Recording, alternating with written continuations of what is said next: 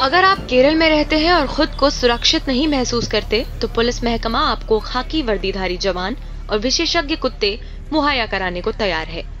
ये सुविधा पहले से थी, लेकिन अब महकमे में नई दरें लागू की गई हैं। ज़ाहिर सी बात है, निजी सुरक्षा के लिए अब ज़्यादा खर्च करना पड़ेगा। एक जवान के लिए पहले रोज़ाना के तीन हज़ार पैंतीस रूपए खर्च करने पड़ते थे। नई दर में दस फ़ीसदी का इजाफा हुआ है।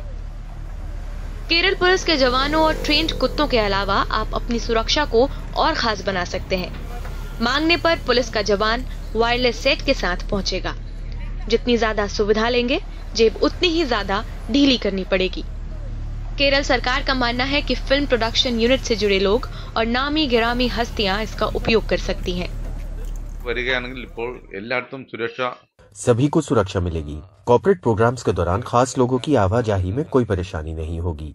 ये सेवा हमारे लिए उपयोगी साबित होगी। लेकिन कुछ बातें खटक रही हैं। पुलिस के एक कुत्ते के लिए एक रोज़ाना के हिसाब से सात हज़ार दो सौ अस्सी रूपए चुकाने होंगे। एक सिविल सेवक को मिलने वाले पैसों की तुलना में यह काफ़ी ज़्यादा है। केरल सरकार के मंत्री और पुलिस विभाग के अधिकारी इस पर कुछ बोलने को तैयार नहीं है। सूत्र बता रहे हैं कि राज्य की माली हालत को सुधारने का ये कदम है। लेकिन केरल में अपराध का ग्राफ भी तेज़ी से बढ़ रहा है।